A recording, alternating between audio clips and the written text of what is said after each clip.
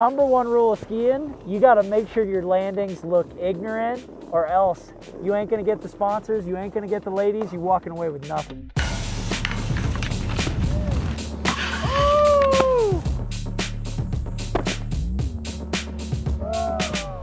Yeah, he makes it look easy, eh?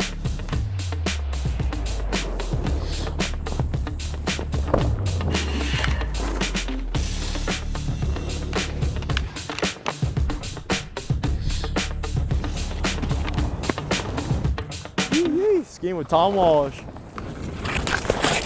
Oh, I'm good.